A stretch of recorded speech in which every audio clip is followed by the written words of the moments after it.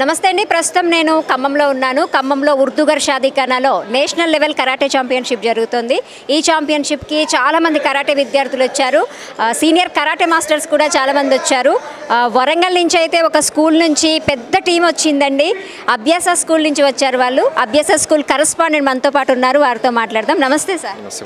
Sir మీ school నుంచి ఒక forty members వరకు పైననే స్టూడెంట్స్ వచ్చారు. అంటే మీరు కరాటేకి ఎంత ఇంట్రెస్ట్ చూపుతున్నారనే విషయము మాకు అర్థమవుతోంది. కరాటేపై మీ అభిప్రాయం ఏంటి అసలు మేడం సో అందరికీ నమస్కారం so first of all the credit goes to the karate masters thus those who are keeping the whole efforts and from long since from last six months he's working hard for the these competitions actually so regards this this uh, the i mean the uh, platform that to prove themselves every student okay so once again all the best everyone those who have joined today and together the hands those who have put together to the this uh, success uh, aid lead actually so once again congrats uh, for everyone the whole team and especially Shaker Master, Arun Master, and I doesn't know the names, please, sorry. but yeah, Kasim sir, please. Everyone's effort, those who have kept today.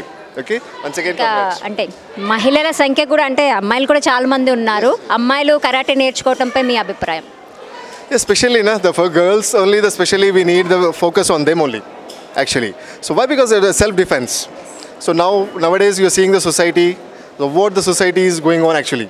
So that's a very good platform of the karate that if, the, if we encourage for the girls, okay, so it's very good one. Hmm, fine, thank you.